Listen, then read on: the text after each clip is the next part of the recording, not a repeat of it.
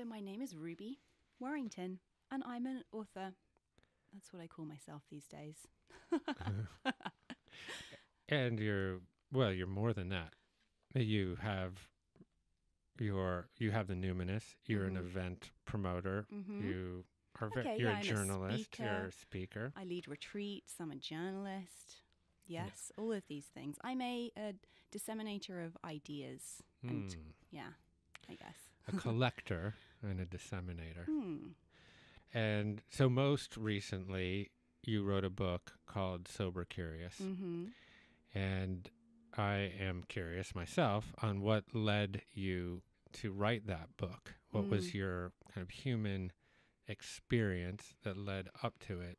And what are the principal concepts in it? And then we'll unpack that a bit. Yeah, sure. So, sober curious um, was the terminology I came up with to describe my own evolving relationship with alcohol. And came up with that term about four years ago and started using it um, to describe that journey that I'd been on, which is probably about a 10 year journey at this point. Um, it was only sort of five, six years in that it felt like something I wanted to start speaking about openly with other people um, because I had questions that were deeper and bigger than I was able to answer by that point, I guess. And it felt like opening up the conversation and just seeing if anybody else felt the same way that I did would be really helpful. And it turned out a lot of people did. So I'll backtrack a little bit. I'm from the UK, as you can hear, and many people know that there's a really boozy kind of drinking culture in in the UK. You mentioned I have a background in journalism, which is a you know within that even media is a very kind of like alcohol soaked uh, sort of um, area. Um, so in my twenties and early thirties, I really I became a pretty heavy social drinker, and it was very much interwoven with my um, career progression. It really Right. helped me kind of like get up the career ladder to be at the right parties, Navigating networking with the right people. Exactly, exactly. Um, but I kind of got to a point um, where I was going through a period of real extreme anxiety. Um, a lot of it work related. I was in a really high pressure role at that point, high status, high pressure role, and I found it. It was this anxiety I was experiencing was really exacerbated anytime I drank. And on Hmm. the flip side, I was possibly drinking a bit more to kind of relax harder or switch off harder when I could, if that makes sense.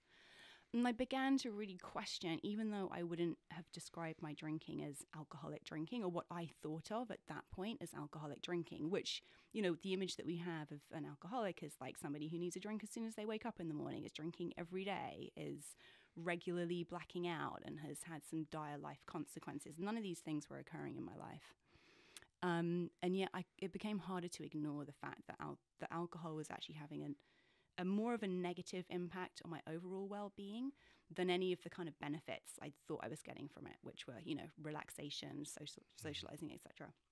And so I began to question, like, how is, why am I using this substance? And why is it kind of expected of me to use this substance? And why are there certain situations when it feels like if I don't use this substance, I've kind of ruined everybody else's night? Like all of these things, right? Yeah. As soon as you step out of what I now have come to term our dominant drinking paradigm, it's like everything becomes illuminated and like, whoa, hold on, there's so many unspoken agreements that we kind of signed up for when it comes to drinking without question. Yeah, well, it's also you look at, I guess, the cultural piece of it where it's essentially applicable to any situation. And even the flip side of it, like, I got this great promotion. Let's have a drink. Like, I got fired. Let's have a drink. like, you know, like, I had a baby. like, Let's have a drink. Oh, my grandfather died. Oh, we need a drink. Essentially, it has become the go-to panacea for just a, any Any. anything. And it's often, if you're a quote unquote normal drinker who hasn't experienced the kind of problems that might be deemed a rock bottom, which would take someone Mm. to a recovery program, you and there's not never an any there's never an opportunity to question, and so we're sort of blindly, I think, Ye- um, Mm. yeah, continuing to participate. Yeah, I think this is the real important distinction, you know, from your work because obviously, um, alcohol use disorders and alcoholism, like acute alcoholism, affects you know 20 million people just in this country so severe at Mm. huge scale Mm. but i think maybe what you're addre- addressing is a bit more like insidious in a way like you could limp through life as kind of a semi-functional regular drinker and just never address it Mm. Right Yeah, that's exactly it. That's a really good way. And I'm loving that even the languaging of just like limping through life. And you're limping through life, and maybe you're having an occasional panic attack. And maybe you don't have any energy because you're not sleeping properly. Yeah. And we never think maybe it's the alcohol because the media, the booze industry, like society in general, conditioning just tells us alcohol is the answer. If Mm. you're feeling shit, have a drink. if you're feeling great, have a drink, as you said. So I began to question it, and I and I eventually came to term that questioning being sober curious. You know, Mm. because I knew that I you're, did. you're I, a fine journalist ruby I do love. I do love a, a ter- some new terminology. yeah, you have quite a few of them I do. yeah. um, and I and I came up with that term. I really thought like, what other area of life are we allowed shades of grey? Hmm. And I thought about sexuality and that now quite outdated term bi curious, like, you know, where someone's kind of, hmm, I'm not exactly sure which side of the fence I fall on here. Maybe I'm going to allow myself some wiggle room, some experimentation, and some curiosity and some questioning about what works for me.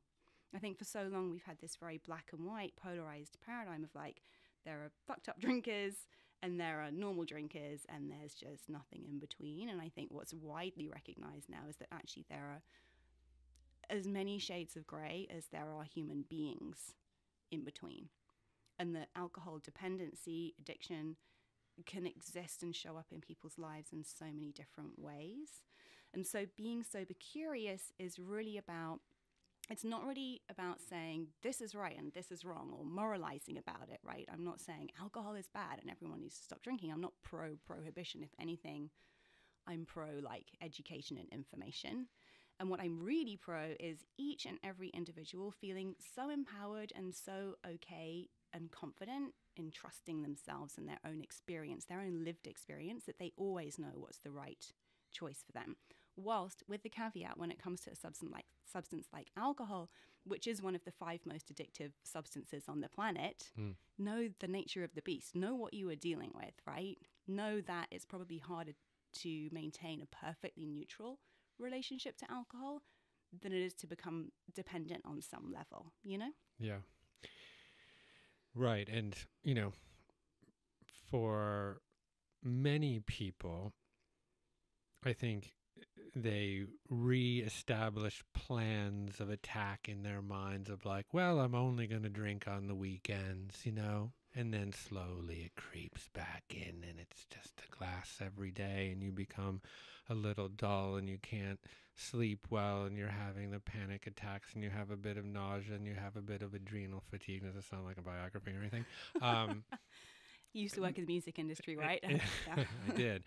Um, and I think you know, and and, it, and I think at some point we should talk about sort of the differentiation and delineation between kind of what you're doing and what you're talking about, and some of the orthodoxy in around twelve-step programs in Mhm. AA, which essentially says you know that addresses that idea of your plan. And it's like, well, if your plan was working, you you'd be fine by now, but clearly yeah your plan is not working, so you need another plan. And I think what you're might be offering is well, here there's some for those people that aren't essentially suffering from debilitating disorder that there is a there is another way. Mm, exactly. There is, for me, you know, you you spoke there a little bit about um, potentially bringing in attempts to moderate your drinking, putting a load of kind of rules around it. As soon as anyone's entered into that territory, there's a problem.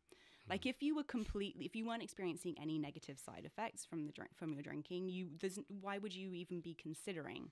Am I drinking too much? Should I limit my intake? Like we all just kind of intuitively know that alcohol is really bad for us, and that the negatives far outweigh the positives.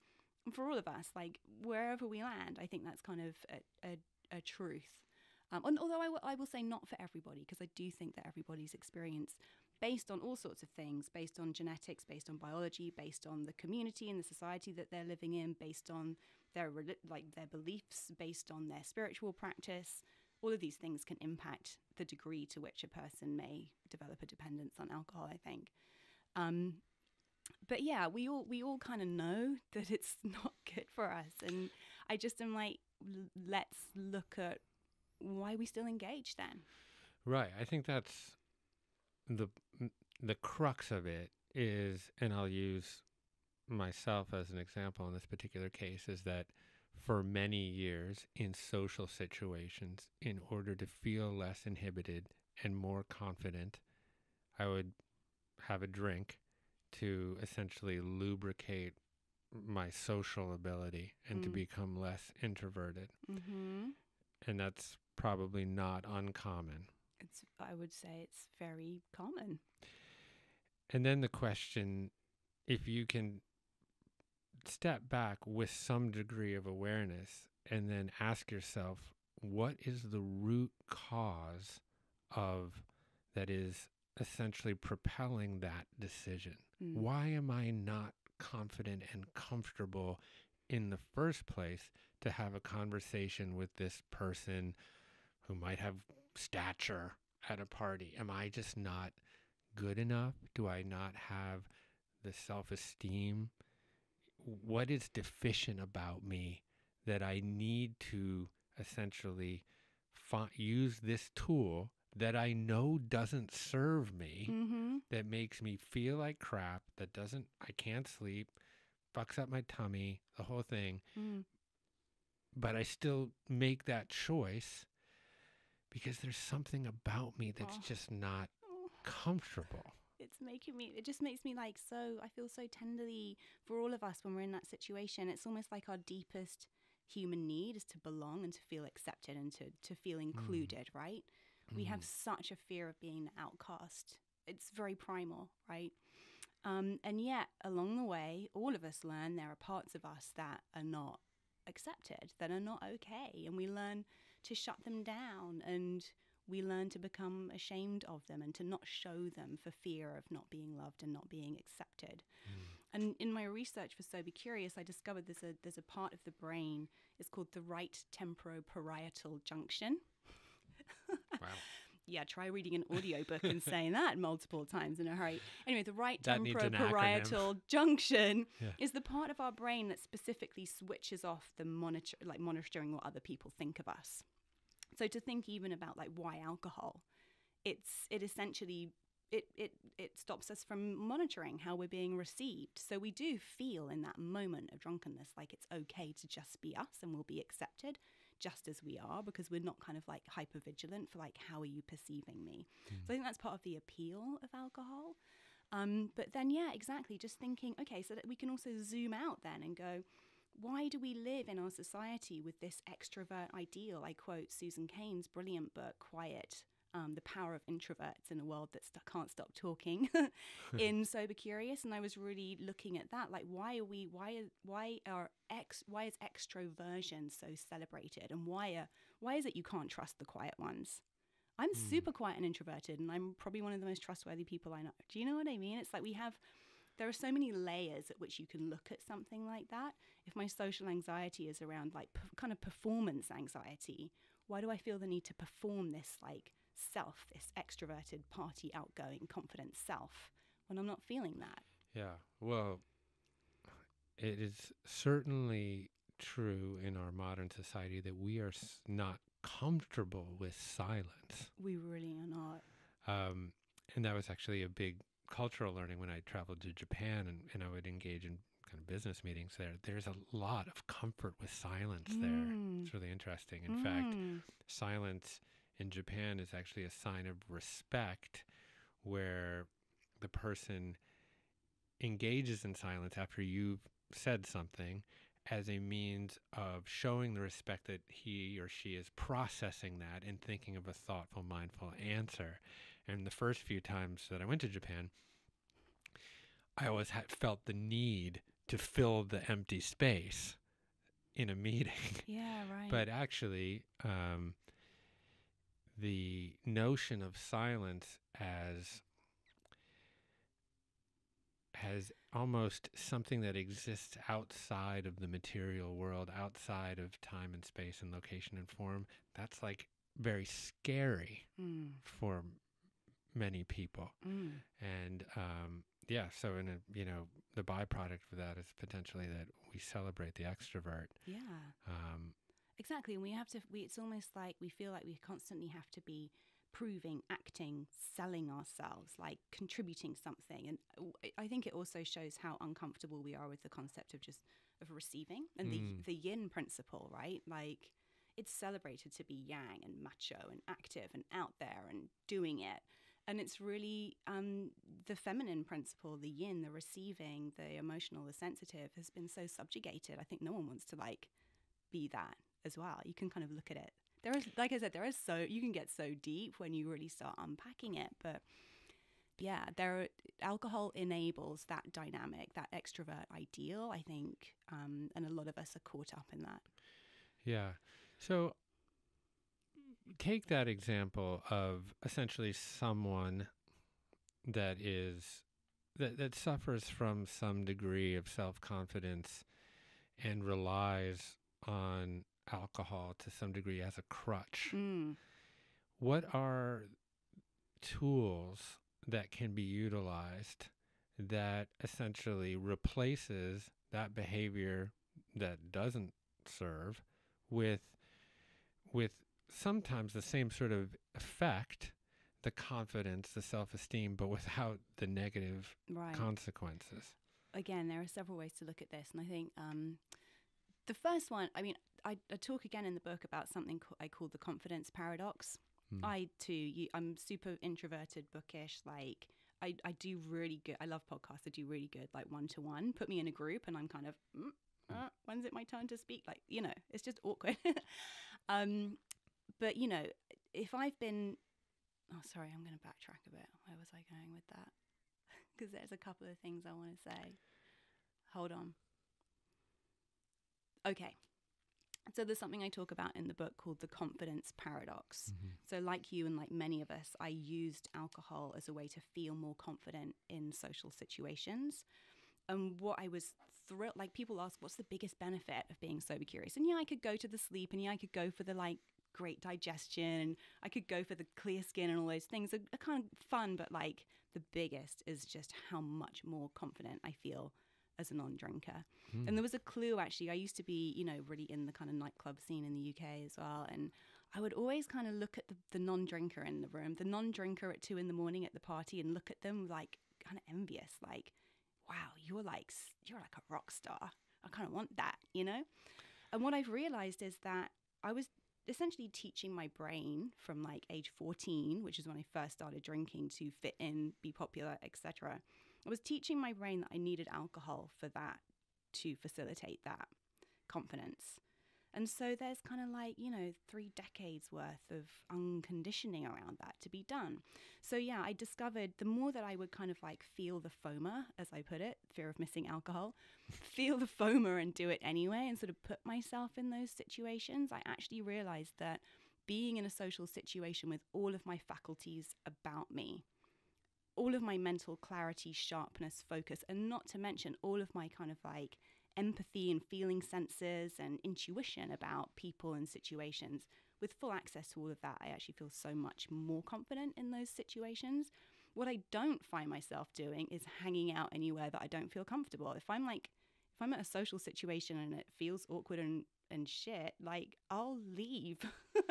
Whereas my old MO might have been like, I'll have another couple of drinks to get into it and I just don't do that anymore. And I think again, having the the the seeing almost seeing that almost as kind of like um, an act, a practice of knowing my boundaries and setting boundaries about what is okay and what isn't okay, and the spaces I feel okay in and the places I don't. Getting really good at putting those boundaries up is another confidence building exercise. So it's not exactly like the tool. The tool is the the not drinking, the feeling the FOMO and doing it anyway, and proving to yourself that you're actually way more confident than you have been led to believe. Right. And I'm sure there's other techniques, meditation practices, yoga, other things that essentially you can utilize that have obviously a variety of benefits, but also yeah, I mean, psychological benefits. exactly. For me, those techniques have been integral to me. Um, connecting to my intuition, for example. And when I say, I think when we think about intuition, people think very mental and heady. But for me, my intuition, and when I know I'm connected to my intuition, is like, how do I feel with this person? Does this person kind of like have my best interests at heart? I don't know if they do, in which case I'm not going to spend so much time with them. And I say, you know, yoga in particularly has really helped with that practice because it's helped me feel my body. Like I can feel when my body's speaking to me through my yoga practice. And so now I'm kind of super attuned to like all the little pings and shivers and feelings that my body is constantly giving me about the situation I'm in, and I'm able to act on them. The meditation um, is really helpful, as we know. You know, I'm saying we know like this, and I'm sweeping my hand around like your listeners here, Right. as we know. I mean, meditation is the number one practice, really, for just understanding that we are not our thoughts, we are not our emotions, and that we always can find a place of stillness and confidence and trust behind or underneath or within all of that kind of chaos that our outside environment or external environment might be triggering in us. So, the meditation practice, which has been pretty strong daily for me for about four or five years now, has just been really integral in terms of being able to listen to that inner voice, which doesn't always sound like a voice. Again, it's more like a feeling or just a knowing and trust it, it Mm. and take action on what it's actually telling me. Yeah. And what would you say for skeptics or to skeptics that might wonder if essentially life just becomes a bit sedentary and boring without a bit of drink or you know is it possible to let loose and have fun without alcohol and then I'd follow that up and say does alcohol have any place any constructive place in having fun once in a while Mm, really good questions. Alcohol can provide very high highs and it brings very low lows in polarity to that, right? And I think for anyone um, contemplating no longer existing in that kind of roller coaster of emotion, particularly if that's been your norm since you were a teenager or whenever it was you started drinking, it, the, the, the, the idea, I suppose, is that out, that life could become very monotonous and one note. Like the highs are worth it for the the lows are worth it for the highs, right? But what I realized and what I think many people experience when they remove the alcohol is that yes, life kind of settles down to this um, a more stable cadence, I suppose. However, we realize what we've been missing is the incredibly subtle but way more sustainable ecstatic states. Like I find myself often just kind of walking down the street, that annoying person with a huge smile on my face and all my hair standing up on end because like the sky is so beautiful. And I'm just like, who knew I could feel so much?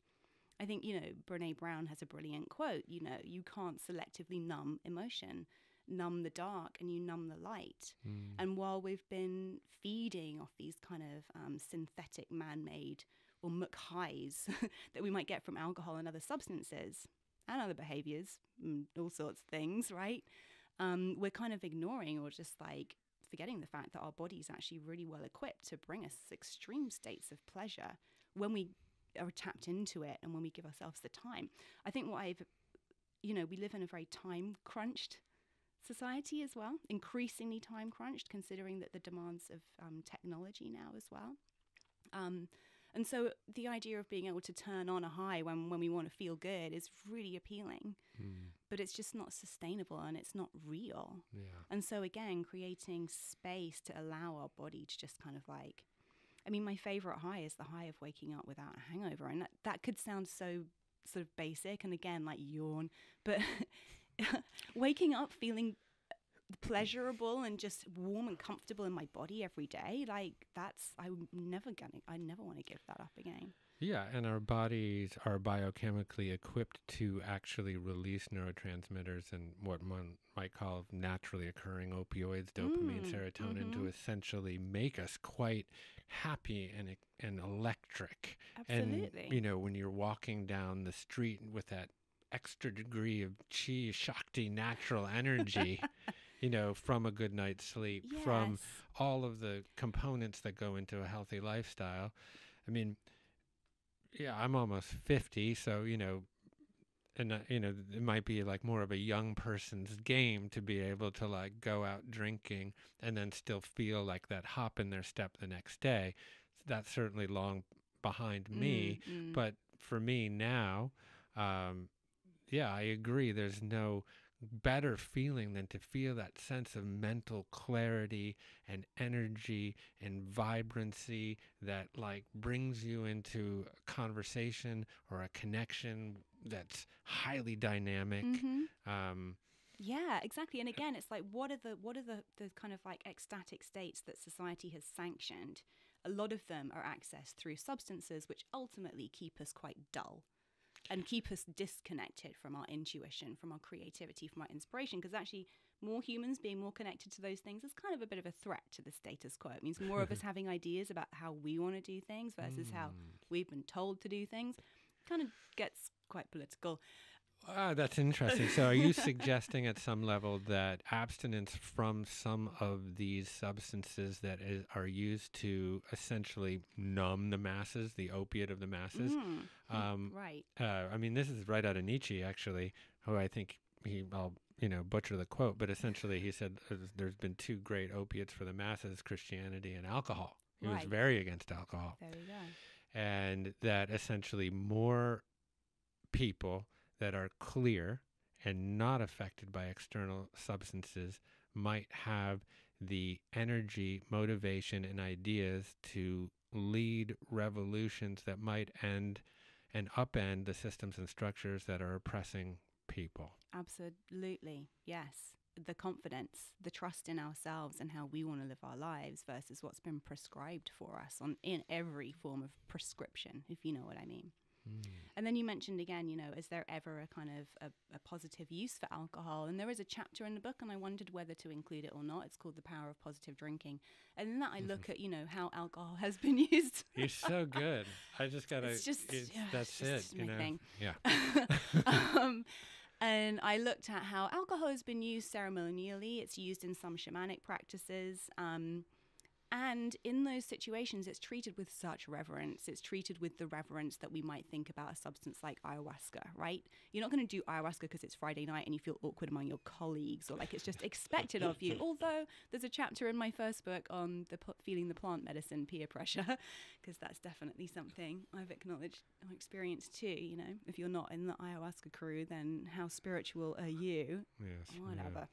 Um, but no, so I think that potentially, yes, alcohol is a medicine. It's a plant medicine, if you like, like many of the others. But the way that alcohol abuse is so sanctioned and enabled by the way that our alcohol culture is organized, it makes it very difficult for us to engage in it safely and consciously in that way. Although I wouldn't mm-hmm. expect, I wouldn't be surprised if out of this sober curious moment, we see some people maybe starting to bring alcohol in in those more ceremonial r- practices and rituals. It'll be interesting to see what comes up there. Yeah. Right, like LCD Soundsystem.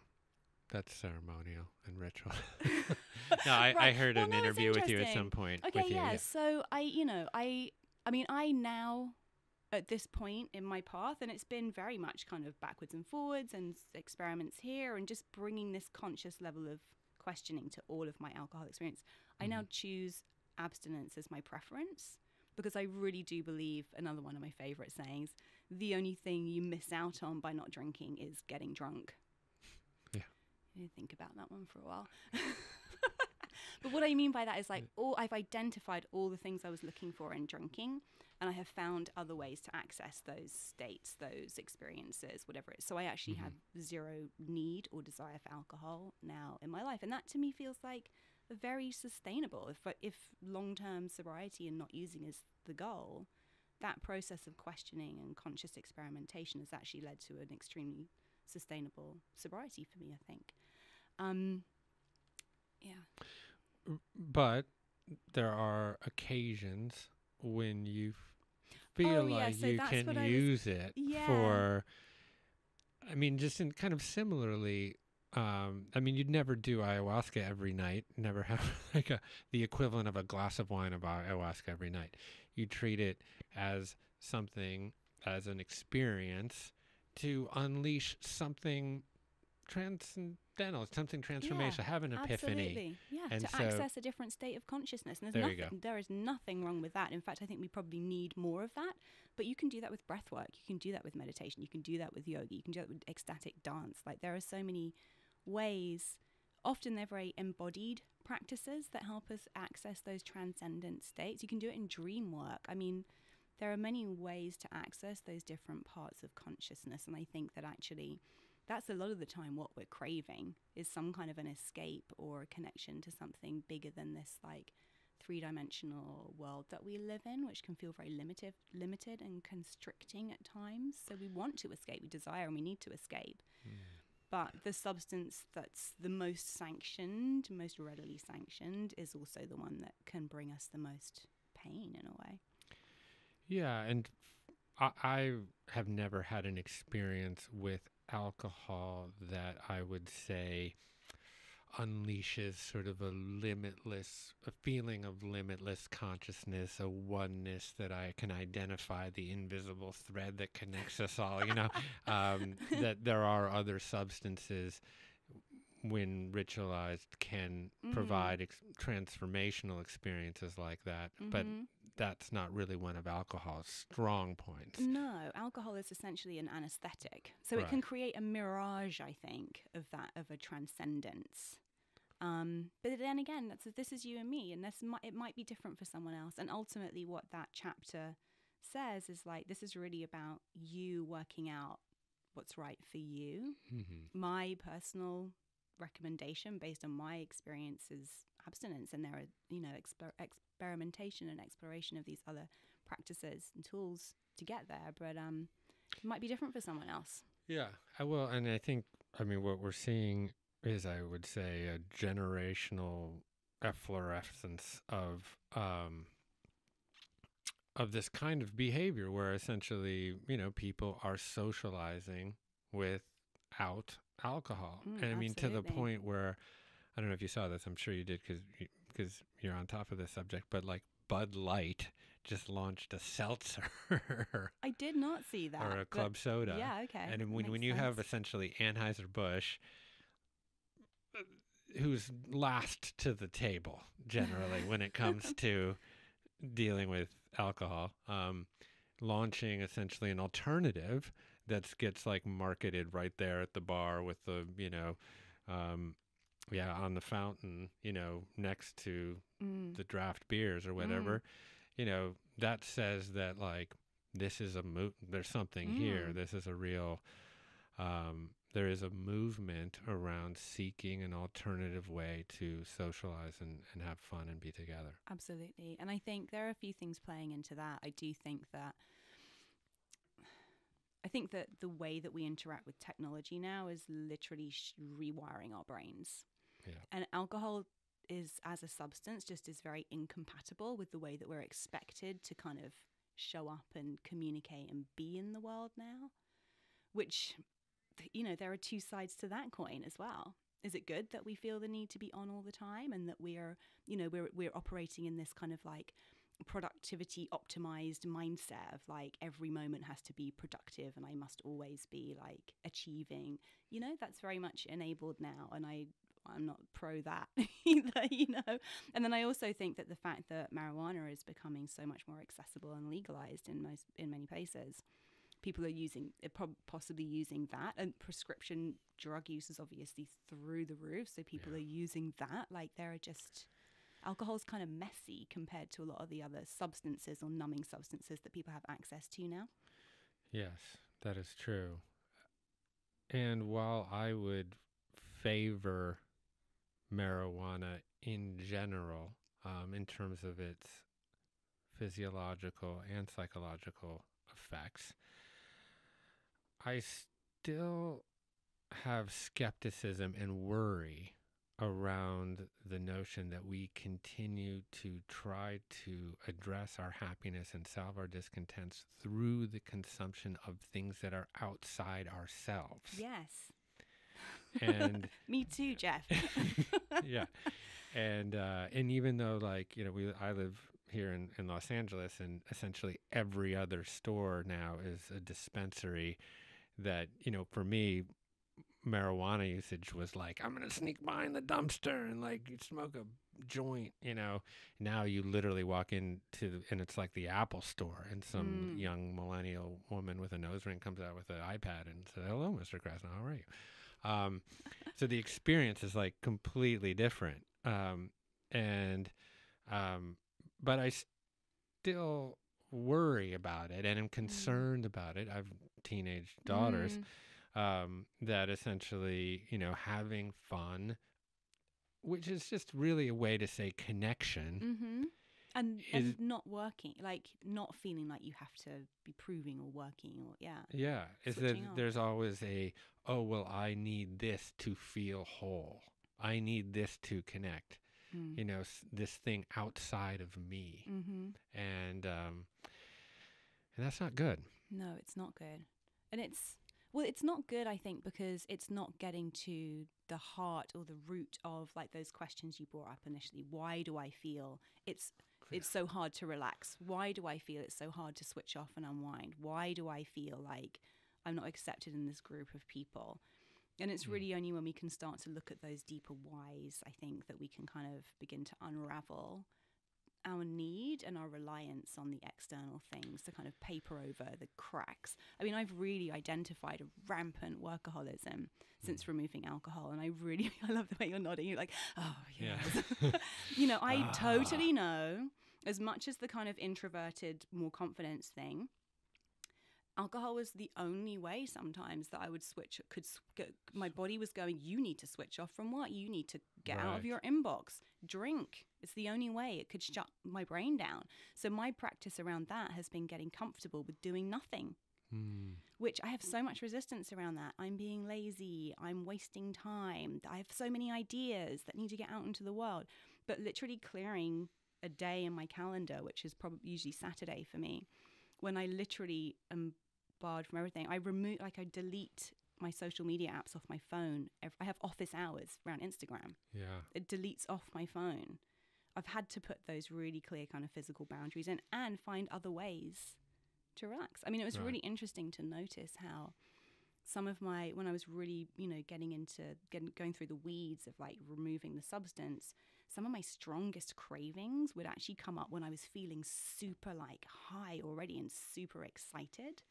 And it was almost like I wanted something to bring me down because I had this abundance of kind of creative energy that just wanted to create and do and make things and there wasn't anything to put it in, Yeah. you know? Yeah. It's just very interesting to watch all of those the impulses. Right. And it's often hard to remember that wisdom comes in the spaces. Mm. Creativity and imagination often comes in the spaces Mm. That we are so conditioned to push, push, push, push to make the thing happen. If only this and only if this, then I will get to the next place that will then make me happy. Then I have to get to the next place. And of course, you know, that's a, a treadmill. Yeah. and that actually finding silence, space, serenity, contemplation, a hike, downtime, often in those moments is when the wisdom or the inspiration comes. And but it Mhm. is very hard to live with that awareness and, and remember that. Um, and so in some ways we have to like create a, a Google Cal yeah, for in order to help us absolutely. um, find that time that is just quiet and unscheduled. Exactly, exactly. Because really, I mean, I, I've been toy. I, it, it's not going to be, so I'll talk about it. But I was putting together a, a book proposal idea around the idea of success addiction, and what you just hmm. described is that. Like, and I was thinking about that term we use. Oh, so and so made it. I'm like, made it where exactly? Made it where? You know, we we we look to constantly be. We were constantly kind of on the tail, or chasing the tail of our next success because we have this idea that like achieve this thing get this thing make that thing and then i'll have made it and where have we made it to we've made it to a place where we don't need to work, right? Where we're supported, where we trust that we're just divinely supported for just being us. That's what we Mm. all ultimately are craving. So how about we just choose that right now? Right. We could choose that any moment, you know? Yeah. Well, I mean, this is at the core of Buddhism, really. you know, that essentially we're Yes. all suffering. There's a way out of this suffering. And the way out is essentially to cultivate a practice that relieves us from desire. Mm-hmm. And that we're all we're always essentially feeding what is keeping us in a constant state of suffering, dukkha, which would be is essentially continuing to fidget literally and figuratively to essentially address these desires. Mm. And the way out is to essentially develop practices that bring about a sense of calmness, serenity, equanimity, Mhm. peace, And cultivate consciousness, if you will, yeah. that brings us out of the practice of c- continually chasing ephemeral solutions to address these desires. And obviously, alcohol is one of them. And it's about cultivating a sense of enoughness. Like, you know, I have enough, I am enough. Like, that's Right. the the antithesis of our sort of capitalist consumerist con- culture, basically. Um, so yeah, it, yeah. Again, you can go you can go super deep with this. And fun fact, Jeff, I have the same birthday as Betty Ford, and the day that the Buddha's birthday is celebrated in the US. Is that right? Yeah. My God. So I you're know. destined not to drink. You have no free will. It's just None is my destiny. So last thing, um, I know for a good while you were organizing events, social events that were Mm. essentially non-alcoholic. hmm You still doing that? No, I took a step back from that because I found myself becoming an event organizer, and. I'm that's not. I'm a I'm a writer, and I you know I like so now I'm I I I do retreat still. I love to go really deep with people, so I have a retreat coming up at Kripalu, a sober curious retreat, which is like two days when we get deep into some of the, have loads Mhm. of different exercises to help people get deep into answering some of these questions for themselves. Um, and I'm doing I'm doing kind of appearances and events, but I'm not organizing events anymore. It's just not. That's fast track to burnout for me. I know what that's like. yeah, you do.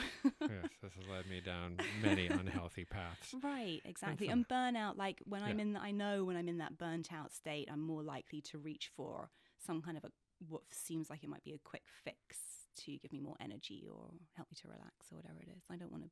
I don't want to go down those paths. So I'm really part of the sober curious path has been about like what really serves me in terms of my professional life. What really supports me so that I can do the work that I'm really here to do, you know? Mm. Do you have to sort of disavow some of your old friendships and relationships when you take a sober, curious, or non-alcoholic path? Um, oh, it's more of a, a gradual sort of evolving, I suppose. Mhm. Um, I sort of feel like, and you know, this is a good. I can tell you a bit about when it really kicked in for me. My my sober curiosity really kicked in after I moved to the US.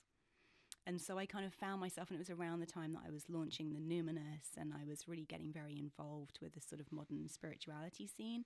And I found myself just naturally socializing with people who were on this path that we've been discussing, who were more concerned with what can I find within me rather than what can I consume to make me feel better on the outside. Mm. And so there was a kind of a natural shift. And I think that, you know, there's that saying that we're the average of the five people we spend the most time with.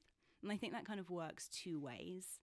And when we are undergoing any kind of internal transformation, we start to just naturally attract different people on a different energetic frequency and the other relationships kind of just fade away. There's no need for it to be a big dramatic like although in some Right. situations if you if there are people you know are like super triggering for you and if you're with them you're going to want to drink, you may find yourself can we meet for a brunch or can we go for a hike instead and then if there's nothing if there's nothing in common on that hike and the spark's not there anymore then you just kind of know Right. this isn't for me going forward you know Yeah, there's a wonderful Wayne Dyer quote that I've come back to quite often, which is the angels we wish to attract into our lives will appear when they recognize themselves in us. ah That's it. Yeah, that's and my way more eloquent than what I just said. well, I didn't say it originally. I just barely remembered it.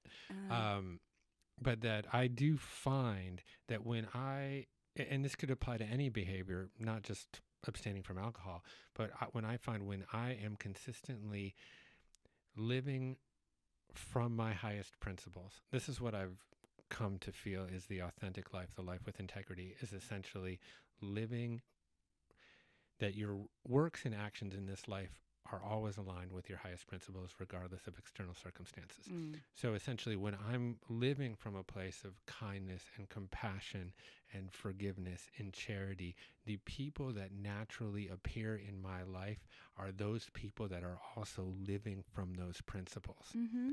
And this isn't just some foofy law of attraction stuff, Mhm. although we can go there, Mhm. but it's really true Mm. because essentially people that are like minded are, are attracted to each other. yeah. And I, I think that, you know, it wouldn't be a far jump to say living a sober, curious life helps you cultivate an ability to live from your highest principles. And then by extension, those angels appear into your life. Absolutely. It's beautifully put, Jeff. But yes, no, I really God it was on completely agree with you. Um, because I'll, you could you could put it in a really practical container as well, Sure. right? When I choose to live from those principles, and every choice that I make and everything I put in my calendar goes through that filter first. There's just a natural reprioritization of who you're spending your time with and where you're putting your energy. And so the other stuff will just get crowded out by where you're focusing your where you're literally spending your time and energy, you know? Yes, that's a very practical approach to it. You're a very practical woman. I've always admired that about you. Um, no, I think, um, well, you, I really appreciate you leading this movement because it, it needs, all movements need a leader. They need a messenger um, who is charismatic and comes up with absolutely incredible wordplay. um, and, uh, and it's really having an impact. I hope you can feel the impact that it's having. Oh yeah, I have a Google alert set up for sober curious and there's like 8 or 9 mentions a day Yeah. of that term, you know? And it's I think that for me, you know, there's been some kind of like a few comments here and there. Why does this need a term? It's just like deciding not to drink. And I'm like, hmm, people, and it- you know, going back to the very beginning of our conversation, when I decided I wanted to start speaking openly about this, I had a real moment of like, why would anyone care? Like, this has been such a personal internal thing for me. Like, am I, like, am I telling everyone, hey, you've all got a drinking problem, even though you don't know it? It doesn't look like a drinking problem, but it is, trust me. Like, is this just really arrogant and like Hmm. super Aries of me? Like, to think that everyone, Yeah, and judgmental and whatever. Right, yeah. exactly, and presumptuous. But as soon as I started talking about it, it was as if I'd given a language to something that a lot of people had been thinking for a very long time, Mm. often unconsciously. You Yeah. know, it was like, oh, yeah, actually, yeah, that's exactly where I'm at. Yeah, and I'm- so, yeah. Yeah, I mean, movements and ideas and big visions need language in order to Mm. galvanize people's imagination. I've talked about this recently, but you know, Kennedy wanted to put a man on the moon by the end of the decade. If he just said, "Well, we're going to put," but he called that the new frontier, Mhm. and because he called it that, he he embodied something. He emboldened some language. It actually galvanized people to see something bigger than Mhm. themselves Mm. that they could feel part of something of a movement that was bigger than their own individual plights and in, in their own individual lives and you know um and you know you could make you know the new deal you, the great society all Mhm. of these other essentially movements that needed a name Mhm. to instill them with force and meaning and excitement so And I, think, think with great. this as well, it's like it's given a common language that can actually encapsulate or speak to a multitude of very individual and unique experiences. that are often rooted in feeling, hunches, intuition that don't necessarily Mm. have like people haven't even had the language to express, and now they can just say, "I'm sober curious," and it that's like enough, Yeah. you know. Good. I love it. I'm sober curious. I'm happy to hear it. I hope you're enjoying it. So far, so good. yeah. Thank you, Ruby. It's so lovely to connect with you after a couple of years and Mhm. just see how both of our paths have evolved in kind of a parallel way. It's Mhm. beautiful. It's great. Thanks Yeah. for having me on, Jeff. Yeah. Thank you for coming on. Well cool. done. That was fun. Yeah. Awesome. Yeah. You must be enjoying this. You're really good at it.